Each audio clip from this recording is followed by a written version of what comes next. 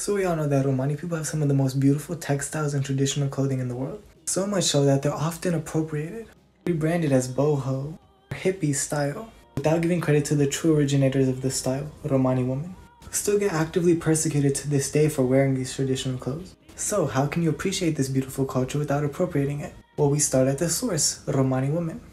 Like supporting Romani women designers, the wonderful Zita Moldovan, make Romani inspired clothing for Roma and non Roma to enjoy alike. Like this beautiful Romani inspired jacket that I'm wearing from Loli by Zita Moldovan. This way, you are supporting actual Romani women, also appreciating our culture, respective of our own boundaries.